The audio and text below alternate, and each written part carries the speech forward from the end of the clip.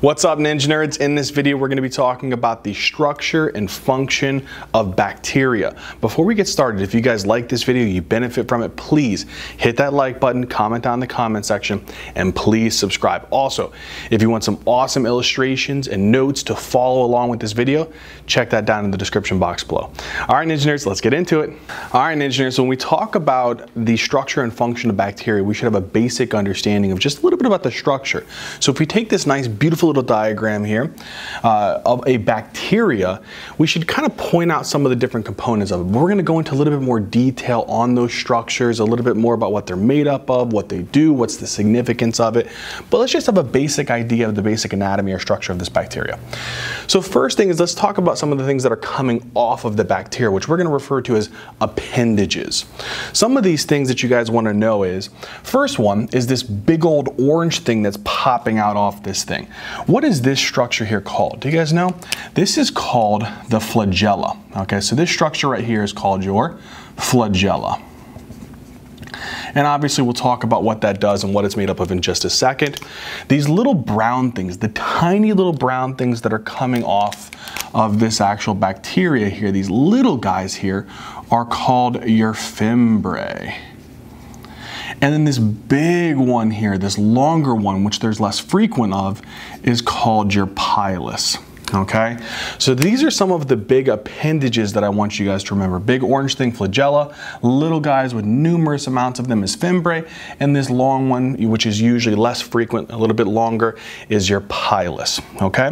Now, the next thing that I want you guys to know, we're not gonna actually have it visualized inside of this bacteria, but some bacteria we'll talk about in a second can have these structures inside of them called endospores. We'll talk about that a little bit later though. All right, the next thing is basically the actual kind of like cell envelope. Okay, this bacteria has this big, thick kind of like blue wall around it. And that big, thick blue wall that we're gonna discuss in pretty good detail later is made up of multiple different components. And that's called the cell envelope. And again, we'll kind of dig into that, talk about the multiple layers of the cell envelope, what they're made up of, what's their function. Okay, so so far we have the appendages. We'll talk about a specialized structure called the endospore, which isn't pictured here. Then we have the covering around the actual bacteria, which is this big, thick kind of blue wall called the cell envelope, made up of multiple different layers. Inside of the bacteria, though, you'll actually notice a couple different things. You have all these like little blue, uh, uh sorry, not blue, red dots. These red dots are all of your ribosomes. So you have a bunch of different ribosomes, baby little ribosomes present inside of the actual bacteria. And then you have a big kind of purple entanglement of DNA. This right here is actually called the bacterial chromosome, okay? So this is your bacterial chromosome, okay? So we're just gonna call this the bacterial chromosome. And then this little guy right here is another piece of DNA actually present in the bacteria, but it's not a part of the bacterial chromosome and only actually some bacteria have this. Um, and it's a little circular small piece of DNA and this is called your plasmid. And again, we'll discuss this a little bit later as well. But these are some of like the basic things that I want you guys to know about the actual bacterial structure. Again, real quick recap, appendages, you have the flagella, which is this orange structure.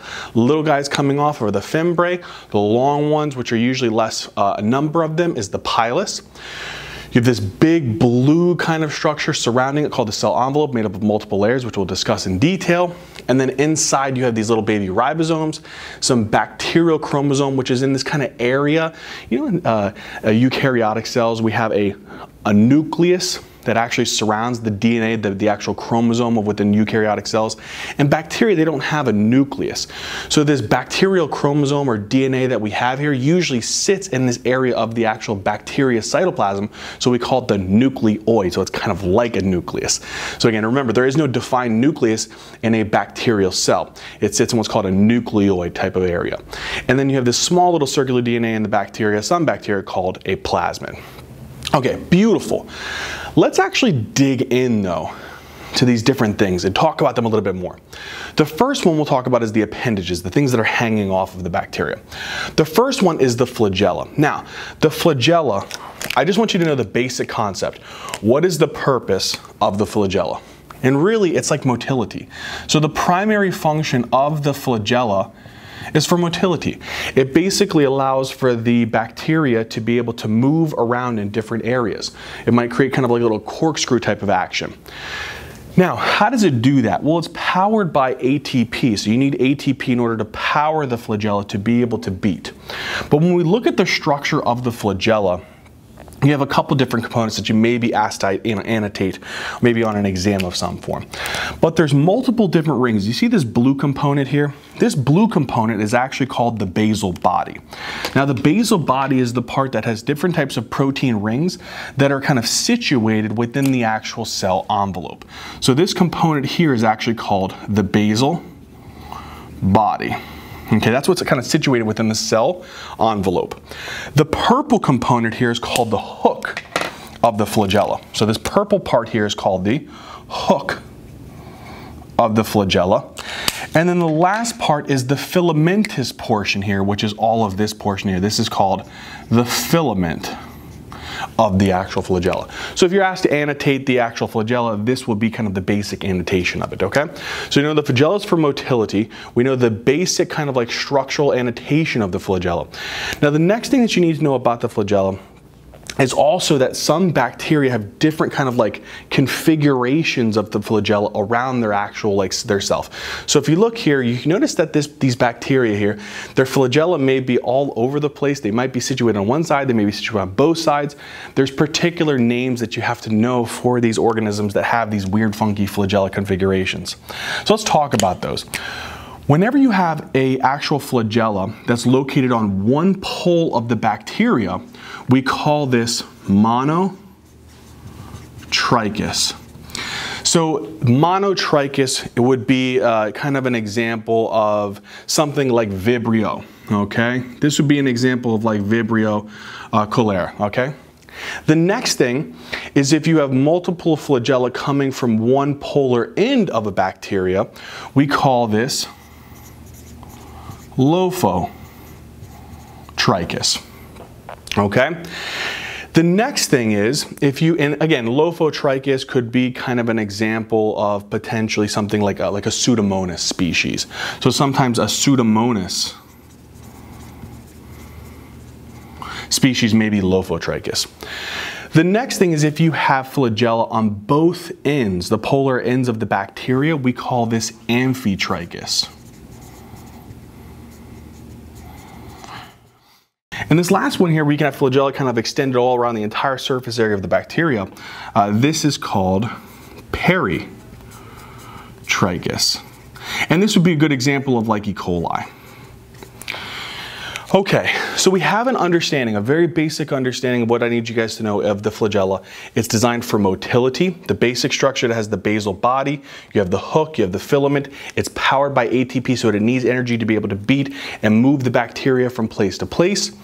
You also should understand the different configurations of the actual flagella on bacteria. Monotrichous, one flagella on one end, Lophotrichous, multiple flagella on one polar end, Amphitrichous, you have flagella on both ends, and Peritrichous throughout the entire surface area of the bacteria. Beautiful, boom, roasted. Let's move on to the next part of the appendages. This is the fimbriae versus the pilus. I kind of already alluded to this a little bit. Here's the big thing. Sometimes in textbooks, it's referred to as sometimes synonymous. It's kind of the same thing. But some of the more modern literature is actually saying that it's not really actually the same thing. There is some definable differences between the fimbriae and the pilus. Now, what are some of those differences? One of the big things to think about when we talk about the fimbriae and the pilus is that the fimbriae are actually shorter, okay? So the first thing that I want you to remember is that they are actually shorter and they're thinner in comparison to the pilus. Okay, so that's one thing. Shorter and thinner. The next thing that I want you guys to remember about this is that there is a larger number of fimbriae spread along the bacterial surface area in comparison to the pilus. Another thing, you know the pilus that you actually form, it actually comes from a very specific kind of, I'm sorry, the fimbriae that you form that is actually formed from a very particular structure within the bacteria. Remember we were talking about the two different types of DNA? There was the bacterial chromosome and then there was the plasmid. They're both DNA. The actual fimbriae is formed from the bacterial chromosome. So that's what I want you to remember. The actual bacterial chromosome will have particular genes that will be transcribed, translated, and make proteins that are involved in making these actual fimbriae. So that's important. Now, we have a basic understanding here. Fimbriae, there's more of them, they're shorter, they're thinner, and they're formed from the actual genes from bacterial chromosomes. What do they do? What's the whole purpose of these suckers? The whole purpose of them is they allow for attachment or adherence to different types of cell surfaces. So they're going to allow for attachment or adherence to cell surfaces. Okay, beautiful. Now let's compare that to the pilus. The pilus is actually, again, now we have a basic understanding, we can just compare here based on this. So if this had a large number, what do you think a pilus has? Yeah, less number. I know you guys said it, right? So there's a lower number of pili within this actual bacteria. Um, the other thing is if you look at them, they're obviously not shorter, they're longer, and they're a little bit thicker, okay? Here's another thing to add on.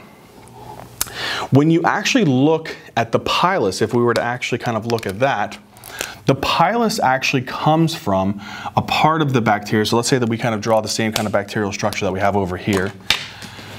The pilus actually comes from a different DNA portion of the actual bacteria. So the fimbriae came from the bacterial chromosome. Where do you think the pilus is actually coming from? It's coming from the plasmid. So the plasmid is the structure that has DNA that whenever those genes are transcribed, translated, it'll then be translated into make proteins that are involved in forming the pilus. Okay, so that's important to remember.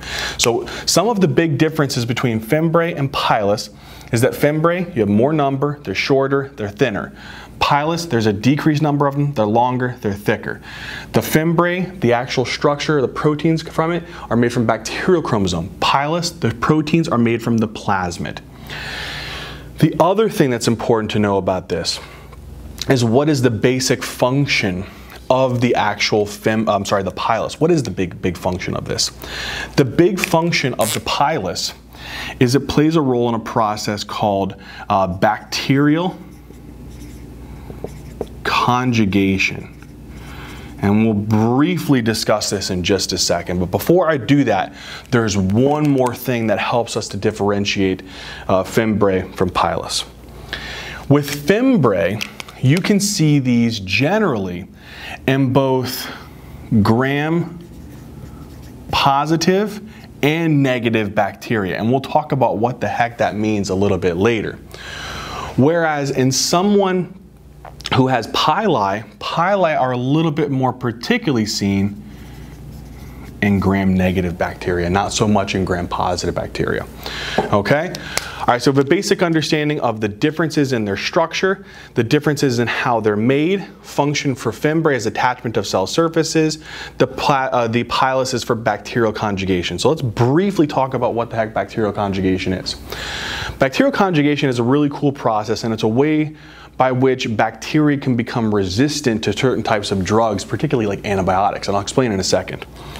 So very, very briefly, let's say here we have a bacteria, okay, and this bacteria has a plasmid, okay? Now this plasmid may have genes on it that uh, it can get transcribed, translated, and make particular proteins or enzymes that can break down antibiotics and make those antibiotics less effective against that bacteria. But since this bacteria maybe has that plasmid that allows for it to be able to make a particular pilus, we call this plasmid that's in this bacteria that's going to help to make this pilus an F positive bacteria. It means it's just a fertility positive. Now, what happens is this plasmid will do a couple things. It may transcribe, get translated, make proteins, and then initiate the formation of a pilus. Okay, so let's say here we have a pilus. The other thing that it may do is not only help to make a pilus, but also replicate and make another plasmid. Why?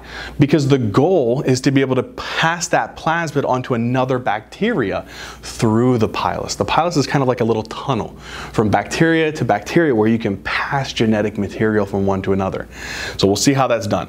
So again, we have this bacteria it's fertility positive, F positive, meaning it has the plasmid that can make a particular protein or an enzyme that's important maybe in antibiotic resistance. It'll make the pilus, it'll then replicate that plasmid. Now, now that it's done that, let's actually see what this would look like. So here's this plasmid, the extra replicated version, and then we're gonna draw the pilus. Now the pilus is going to attach from one bacteria to another, kind of like a little tunnel or channel. Now that that pilus is connected from this bacteria, what is this bacteria called again? Since it has the plasmid, we call this the F positive or the fertility positive. This one, does it have a plasmid present? No. So we call this F negative, or there's no fertility factor there. There's no plasmid present, but it's going to have it soon. What happens is this plasmid helped to make the pilus. It also replicated. And so now that I have this pilus, I can pass this actual plasmid that we just replicated onto this other bacteria that's F negative. And then what's the result? The result of this is that both of these bacteria are now F positive. What's the whole goal of this? Like just why, why the heck do I need to know this? Let's say, just for an example, this plasmid has a very particular protein that it's actually expressing. Maybe the plasmid is expressing a very particular type of enzyme. And to give you an example of this, let's say that this enzyme is called beta lactamase. Beta lactamase, you know what it does? It breaks down the beta lactam ring in penicillin. So it basically renders, inhibits penicillin uh, from its having its effect. And penicillin is basically an antibiotic that's trying to prevent bacterial growth. This bacteria may have this plasmid to make an enzyme like beta lactamase to break down penicillin and make it resistant to the penicillin. But this bacteria over here that was fertility negative, it may have not had that actual plasmid to make that enzyme to make it what? Resistant to the penicillin. So this bacteria says, hey, let me help you be resistant to penicillin. I'll pass you on some of the genetic material that you need to make that beta-lactamase so that if penicillin comes near you, you can break it down. And so this is how bacteria can become resistant by passing on that genetic material through these dang piluses, okay? All right, so we have a basic understanding of that beautiful. So we now know flagella, we understand fimbriae, we understand pili. The next thing that we talked about very briefly that we didn't say we had a structure to show you is called an endospore. Endospores are basically specialized structures that are only found in certain types of bacteria. Okay, there's a you know there's a bunch of them, but the big ones that I want you guys to know about the endospores is they're they're found in very particular type of bacteria. I'm just going to say the Clostridium species. And there's different types of Clostridium species. Clostridium tetani, right, the tetanus. Uh, Clostridium perfringens. Uh, there's, uh, uh, again, there's also Clostridium difficile, uh, C. diff. So those types of bacteria have the ability to produce something called endospores. Another one is called um, Bacillus anthracis. So these bacteria have the ability to produce these really nasty things called endospores. Now, what the heck are these endospores? Why are they produced? Why are they so nasty? And why are they, you know, what's the significance of them within these particular bacteria? So endospores basically are going to allow for bacteria to be resistant to very harsh environments. So what, what do I mean? Let's write this down so that you guys know exactly like what, I, what I'm trying to tell you here.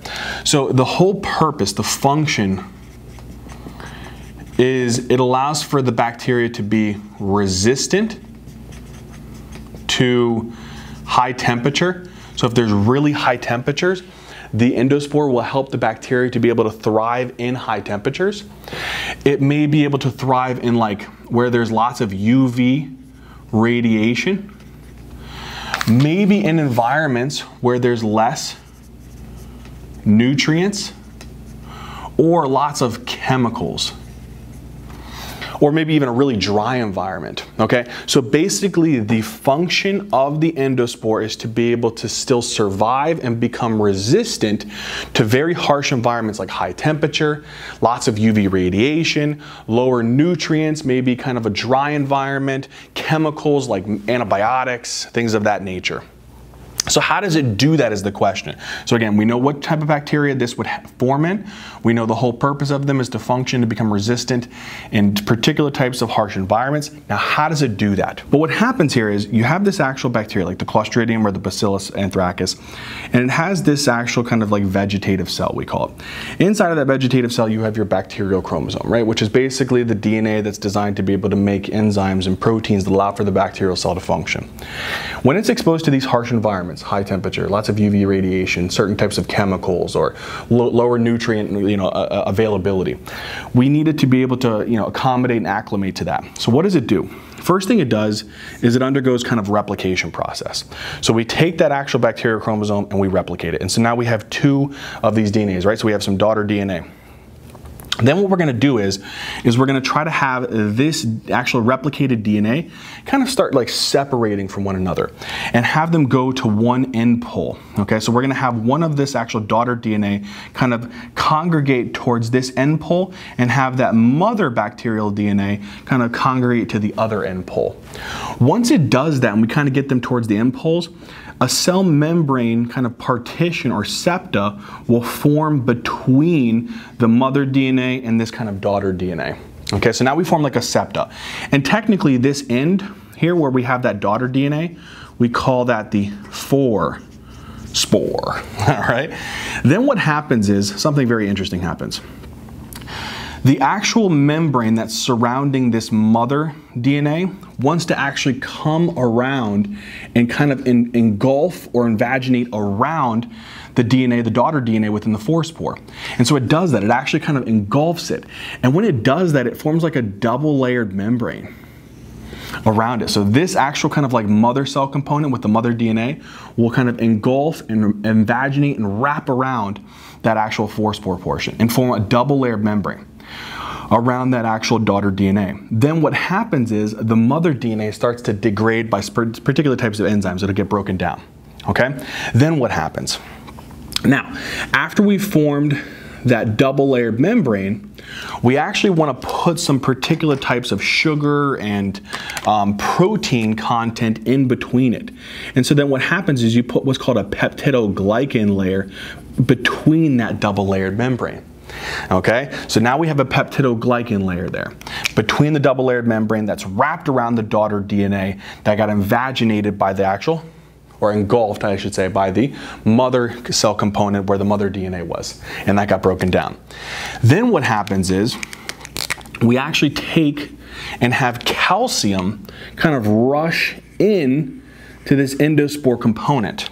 So again, it's going to have the peptidoglycan component in between that double-layered membrane where their daughter DNA is, and there's going to be production of enzymes and proteins in that component of the endospore. But what's going to happen now is we're going to have calcium kind of like rushing in. We're going to have calcium rushing in to this actual endospore. Now when calcium rushes in, water starts leaking out kind of making it a little bit more of a drier environment in that area. Then, after calcium rushes into the endospore, we kind of pull water out of it. What's the last thing that kind of happens here? Well, let's kind of again recap here. We have our double layered membrane. Our double layered membrane contains within it what? Peptidoglycan layer. The peptidoglycan layer.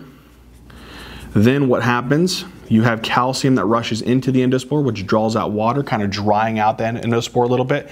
And then the last thing to happen is you want to put one more coating around this actual endospore that makes it, again, more resistant to harsher environments.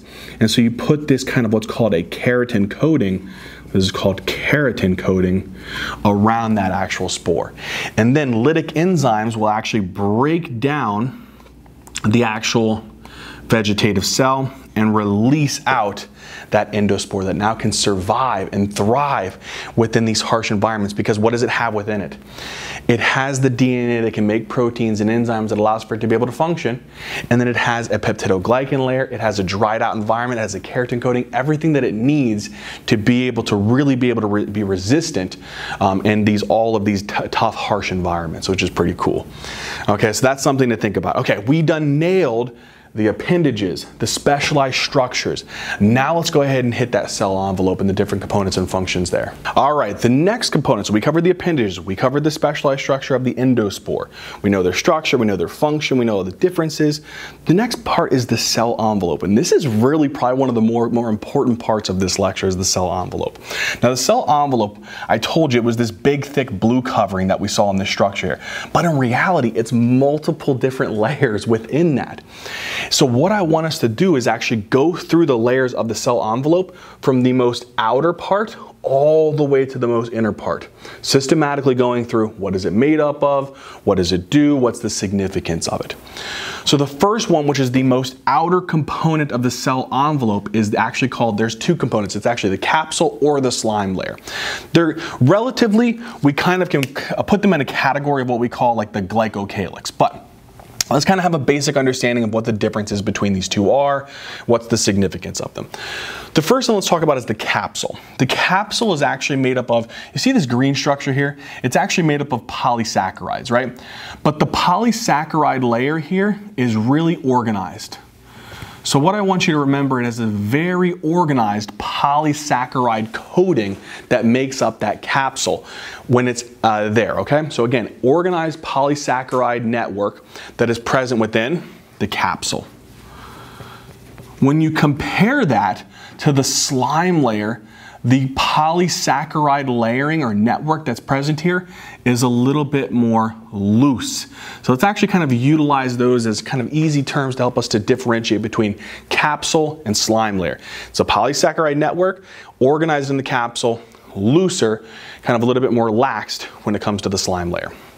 Okay, that's the basic concept. What is the actual significance of the capsule and what is the significance or function of the slime layer? The significance of the capsule is it actually acts as what's called a virulence factor. So it acts as what's called a virulence factor. You're like, what the, what that mean, man? I got you, dog. The virulence factor is, is it's basically the ability to promote infection. Okay? So it has the ability to evade the immune system. Now, how it do that? What happens is the bacterial capsule makes it more difficult for certain types of white blood cells to phagocytose that bacteria. So it actually decreases the phagocytosis kind of like efficacy, if you will, um, by white blood cells like macrophages and neutrophils. And so it makes it harder for those white blood cells to be able to kind of latch on, grab the bacteria, and pull it in. Okay? So that's one of the interesting thing about the capsules. What I really, really want you to know when it comes to significance in clinical medicine is that these capsules on bacteria can make them a little bit more nasty and cause some pretty nasty infections in certain populations. And that's why we actually try to develop vaccines for some of these encapsulated bacteria that you guys should be getting. You know what's the big ones that I want you to remember that we have vaccines for is what's called streptococcus pneumonia, Haemophilus influenza, uh, particularly type B, and then what's called Neisseria meningitidis. Okay? These are the three types of bacteria that have a capsule around them that we actually have vaccines for and are very important. You know why these are very important? Because you know certain people who have like what don't have a spleen or they get their spleen removed for some particular reason, maybe sickle cell anemia or uh, you know hereditary spherocytosis of some kind. If they don't have a spleen, they're more susceptible to infections by encapsulated bacteria because the spleen is really good at removing those types of bacteria. So again, remember these bacteria that have capsules, they're a little bit easier to evade the immune system by reducing that phagocytosis efficacy, but we have vaccines to try to reduce that process. There's other bacteria that have capsules that, you know, like, you know, Pseudomonas, E. coli, Klebsiella, Salmonella. But again, these are the big three that I want you to remember because these are the ones that we try to have vaccines for. Okay, good. Slime layer. We know it's a loose polysaccharide network. What the heck is the significance of it? The slime layer, basically, its function is to allow adherence to cell surface. Okay, so it may be able to kind of like latch on to different types of cell surfaces within a host cell. But what's even more interesting is it may be able to adhere to foreign substances. Foreign, yeah, foreign substances or certain types of molecules. So let me give you an example of that. Um, you know, whenever somebody gets intubated and they put an endotracheal tube in and maybe it sits in there for a while because they have to remain intubated, that endotracheal tube is a foreign substance. And certain types of bacteria, you know, Pseudomonas is a very classic example of this one. So, Pseudomonas is a very classical example of a bacteria that loves to form slime layers. If someone has like an endotracheal tube, sometimes the Pseudomonas bacteria can actually adhere to the endotracheal tube and form kind of a biofilm around it and increase the risk of you know, ventilator associated pneumonias. If you have a catheter that's placed into a vein, like a central venous catheter, okay, a central venous catheter, there's also a risk of bacteria kind of clinging onto that foreign catheter substance and leading to slime layers and biofilms forming on that.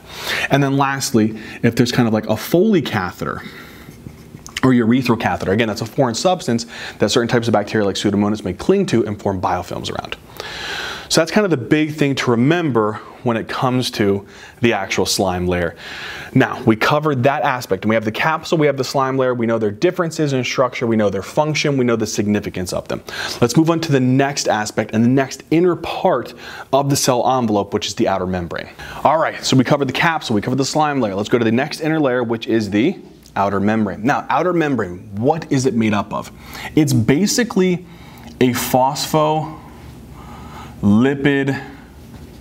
bilayer, but it has a very, very specific type of structure and components within it, which we'll annotate here in just a second. What I do want you to really, really, really don't forget, the outer membrane is only present in a particular type of uh, bacteria. It is only and gram-negative bacteria. Please don't forget that, okay? Outer membrane only present in gram-negative bacteria, it's a phospholipid bilayer. Now, let's talk about what is in that phospholipid bilayer that makes it so significant.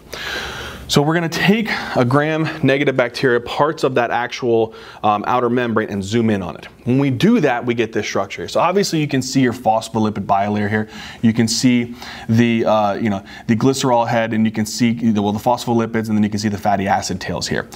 Some of the actual structures that are present in this outer membrane you have like porins, right? So these are basically just kind of like little proteins that allow for the transport of certain types of drugs or substrates or certain types of molecules to be able to transport in and out of the bacterial cell. Simple, right? But what's really important is that there is a endotoxin. Write that down. This is a endotoxin toxin that is present within this outer membrane. And we are, we're going to abbreviate this. We call this lipopolysaccharides. Lipopolysaccharides, LPS. The lipopolysaccharide is an endotoxin. We'll talk about the significance of a second, but we have to know what are the three components of the lipopolysaccharide and which component of that lipopolysaccharide is actually the scary negative one. Three parts of it. You have this red part. This red part here is called lipid a. Okay, and this is the nasty one, and we'll talk about what it, why it's nasty in a second. The next one is the pink part. So we call this, we're gonna call this the core polysaccharide. Okay?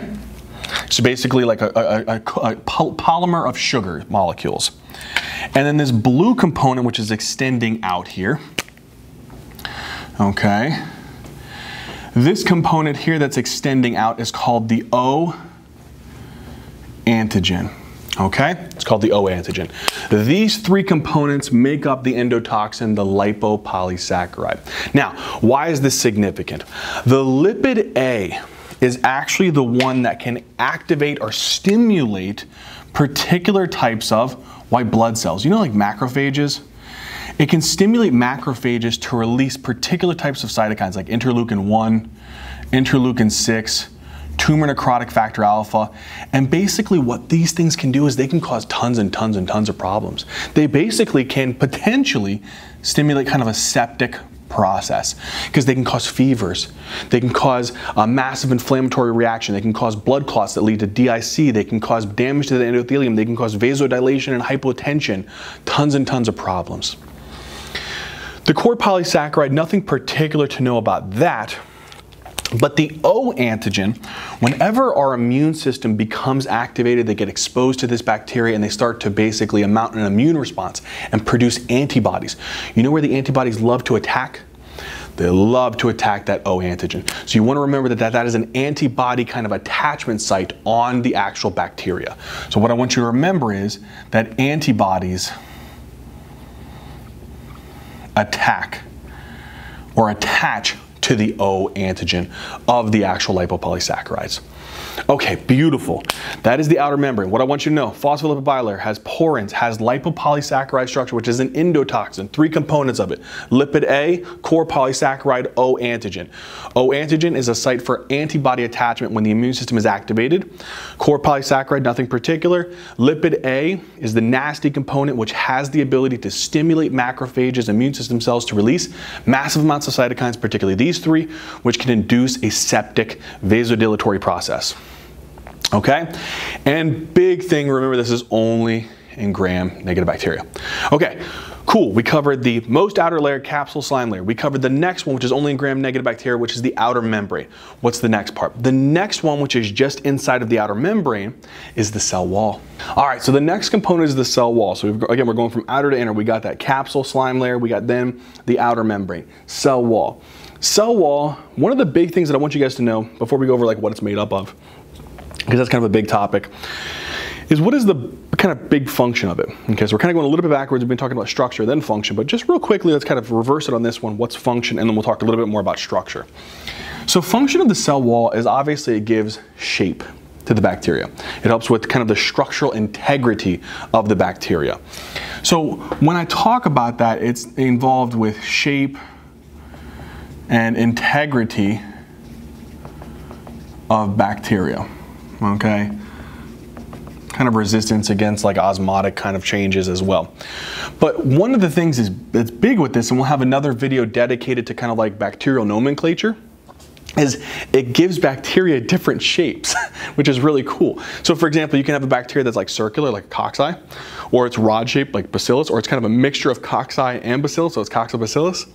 You can have one that's kind of like comma shaped, which is like your vibrio. And then you have the ones that are kind of like snake or kind of like spirally shaped, we call spirilla.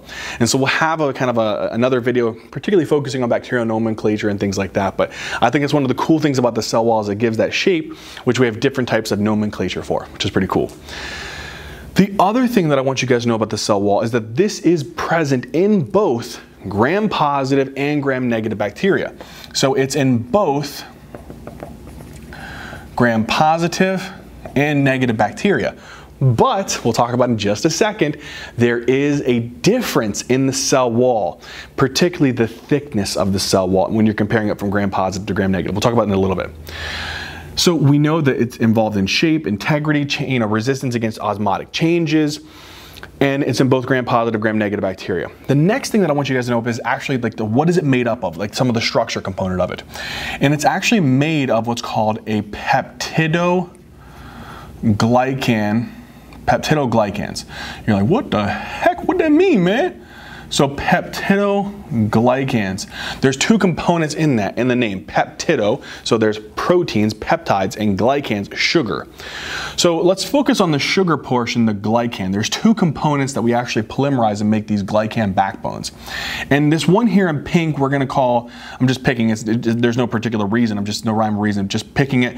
The pink one we're gonna call N-acetylmuramic acid, which we call NAM. That's one of the, the actual sugar molecules. And the other one here in this kind of blue color here is called N-acetyl glucosamine, which we're going to just abbreviate as NAG. What happens is these NAGs and NAMs get polymerized together, and when they do that, they make this glycan or sugar backbone. Then what happens is there's a special type of enzyme called a transpeptidase, which is kind of a, a domain on a special type of enzyme we'll talk about later called a penicillin binding protein. And what that protein does is, is it kind of links together these glycan backbones. So this is your peptide chains, which is going to be linking the glycan backbones together.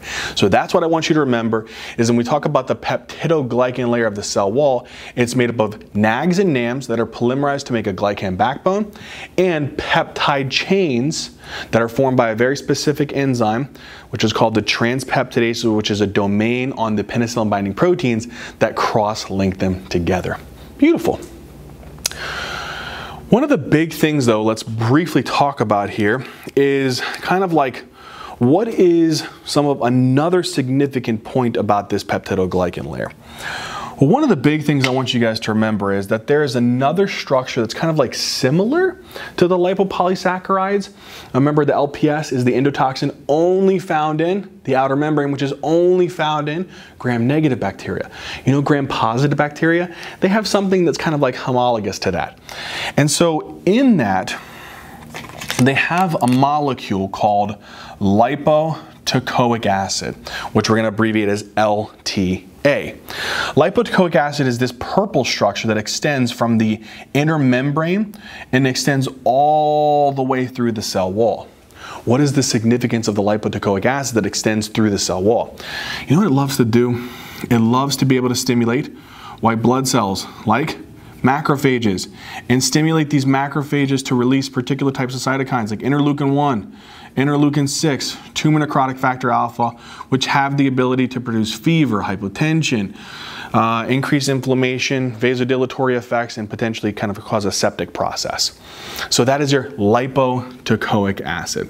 Now you're probably like, well, what is this pink thing that doesn't touch the inner membrane, but it's still kind of incorporated within that cell wall or peptidoglycan layer? Glad you asked. This thing here is not connected to the lipid membrane but it is a kind of like fatty acid structures. We call this a teichoic acid, okay? Teichoic acid. So teichoic acid is a part of this structure that extends just through the cell wall, doesn't touch the inner membrane. Lipoteichoic acid touches the inner cell membrane, extends through the cell wall, and involved in stimulating this kind of interleukin 1, interleukin 6, tumor necrotic factor alpha process.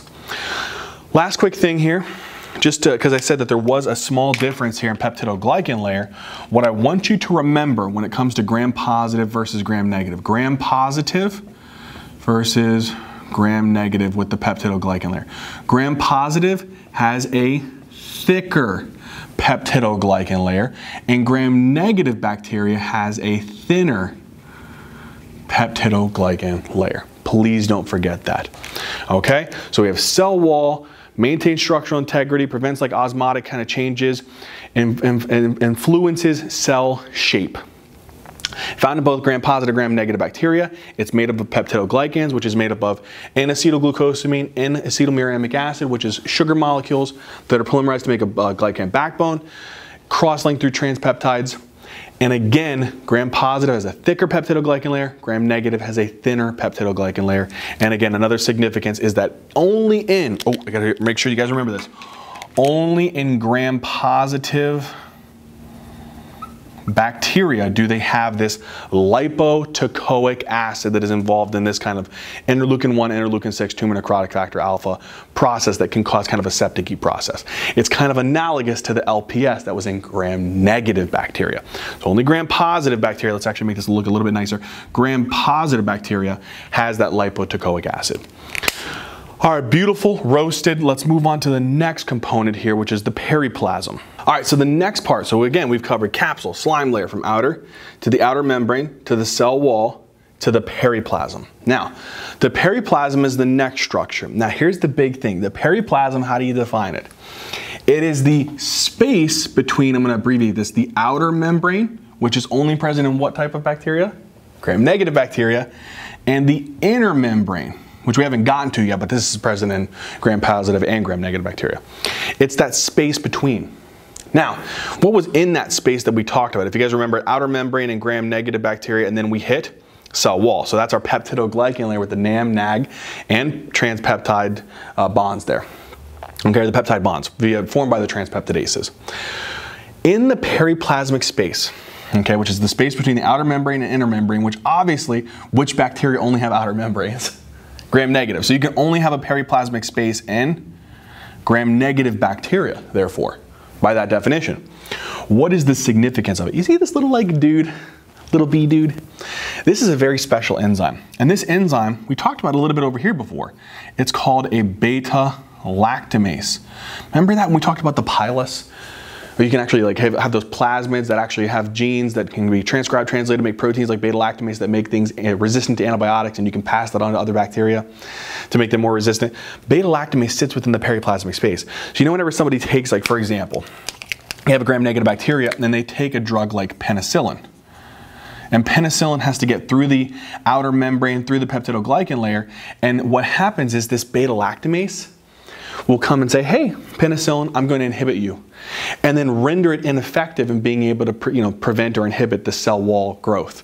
So that's kind of the cool thing about the beta lactamase. So again, periplasm only technically found in gram-negative bacteria since only gram-negative bacteria have outer membrane and inner membrane, and the definition is the space between outer and inner membrane. In that space is the beta lactamase, allowing for resistance to antibiotics like penicillin. Boom, roasted. We move on to the last component of the cell envelope, what is the most inner component? The inner membrane, baby. Inner membrane, what is it made up of? It is a phospholipid bilayer. Now, within that phospholipid bilayer, there's obviously different types of proteins, so different types of like porins. There's different types of enzymes that are involved in like, you know, oxidative metabolism or different types of DNA replication or other enzymatic metabolic processes.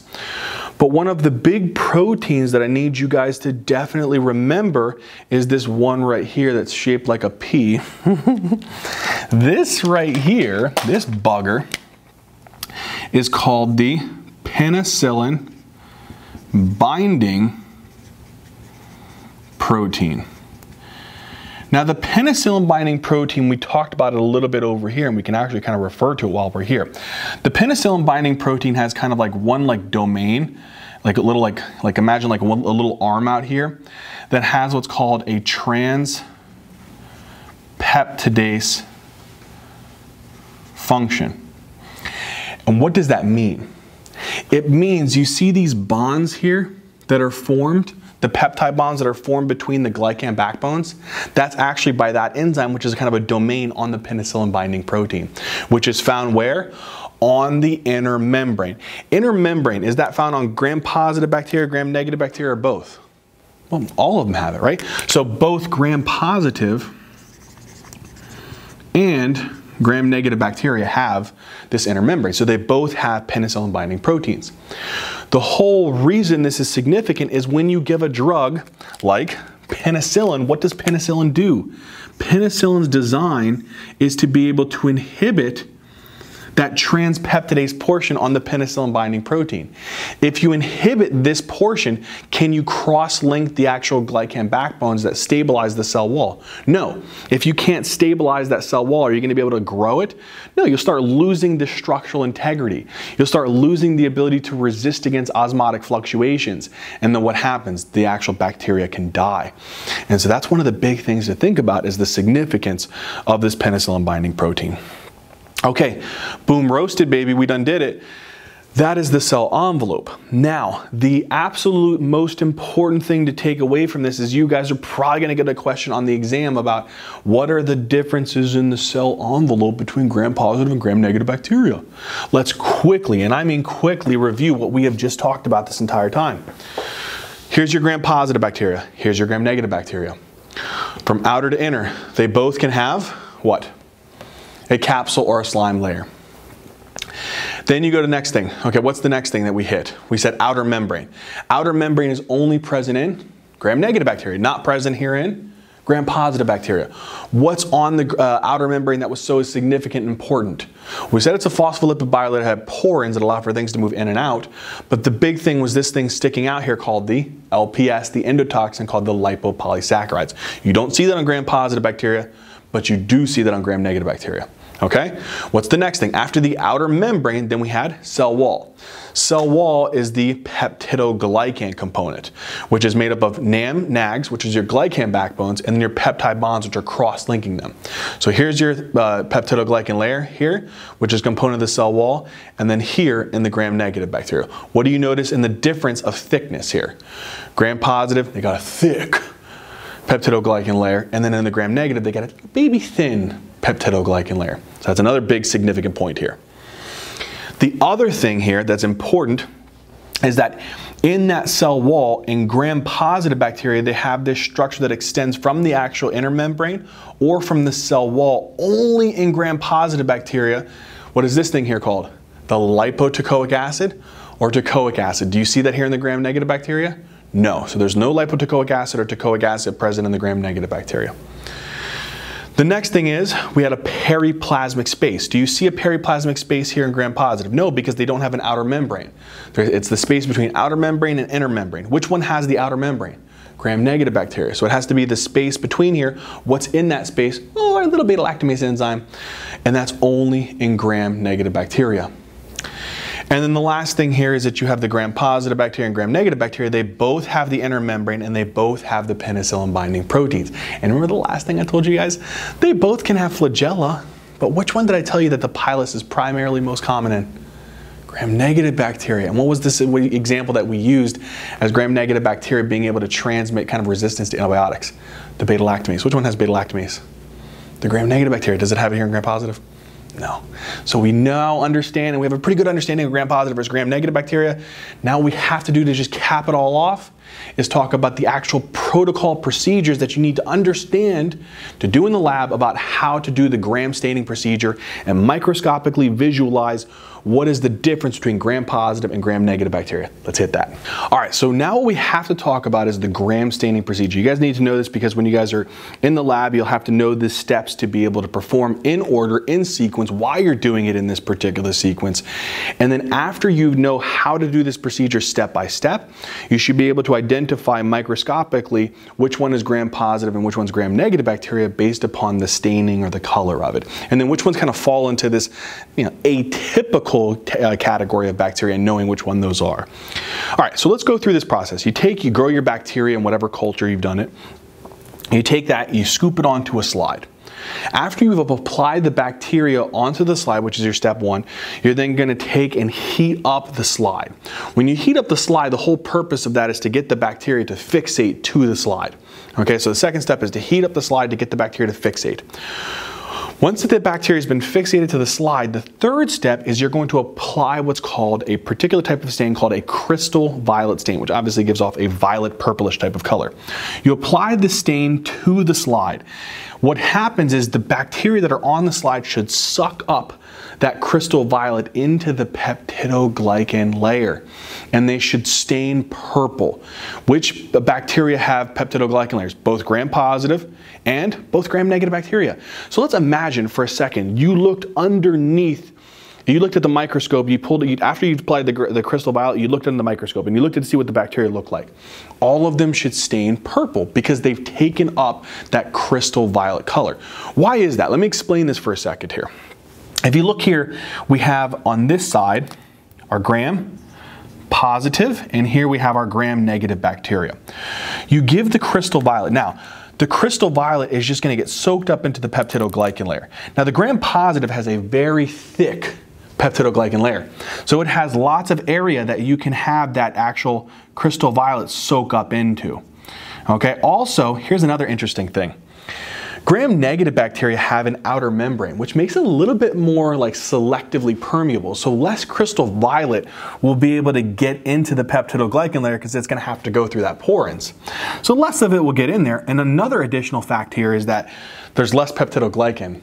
So there's less actual like amounts of crystal violet that's going to be within that peptidoglycan layer. But nonetheless, there's peptidoglycan that's saturated within this actual, there's crystal violet, sorry, stain that's saturated within this peptidoglycan layer of both gram-positive and gram-negative bacteria. Okay? The next step after we've applied the crystal violet is we don't want that crystal violet to kind of like leach out. And so how do we kind of like cement or keep that crystal violet kind of like fixated and stuck in that area of the peptidoglycan component of the gram-positive and gram-negative bacteria. We apply a mordant.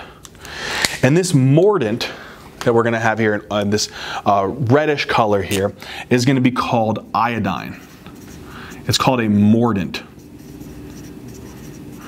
And all that means is, let's say here we have again our gram positive bacteria, our gram negative bacteria, and we can identify that based upon thick peptidoglycan, thin peptidoglycan, and gram negative only has the outer membrane, gram positive does not, right? We know that the crystal violet in step three here has been saturated in that actual peptidoglycan layer. We know it's also saturated here within that gram negative layer. What the iodine does is it kind of latches onto the crystal violet and keeps it really kind of like locked into that peptidoglycan layer. So it kind of acts like a little bit of a cement to keep some of that crystal violet in the peptidoglycan layer. Okay? So that's our fourth step. Now, the fifth step is the interesting step. The fifth step is we apply something called like ethanol or alcohol, some kind of alcohol-based substance, maybe even like acetone sometimes is applied. But it's an ethanol wash, right? And what you do is you take like a bottle of like, you know, some ethanol or acetone and you keep, you know, you squirt that over for a certain period of time over the slide and you're trying to wash some of the crystal violet out of the peptidoglycan layer. Now, the theory behind how this actual like ethanol does this is it may compress the actual peptidoglycan layer and also may have like a little bit of a dissolving effect or put holes within kind of like phospholipid bilayers to allow for some of that crystal violet to be able to leach out. But either way, the whole design of the ethanol is to kind of suck some of the crystal violet or wash some of the crystal violet out of the peptidoglycan layer. Now, come here for a second and realize what do we have so far going back to this point here. Again, here is our gram positive, here's our gram negative bacteria. We have that peptidoglycan layer filled with our crystal violet here in that gram positive. We have it filled here within the gram negative. We have the mordant trying to kind of keep it situated in here, which is the iodine. And then we apply the ethanol. When you apply the ethanol, it is going to pull some of that crystal violet out of the gram-positive bacteria. It's going to pull some of it out, but it shouldn't pull ton, as much out as you, as you actually think. The reason why is why? You have saturated that peptidoglycan layer with tons of crystal violet. There's tons of it. And then you have some of it pretty fixated really well in there with the iodine as the mordant. The gram-negative bacteria, though, there wasn't really much crystal violet in there to begin with because you had a very thin peptidoglycan layer. So there's not a crystal violet there present in general, like amount. And also, there was less of that crystal violet probably be able to get in to the actual peptidoglycan layer because of the outer membrane.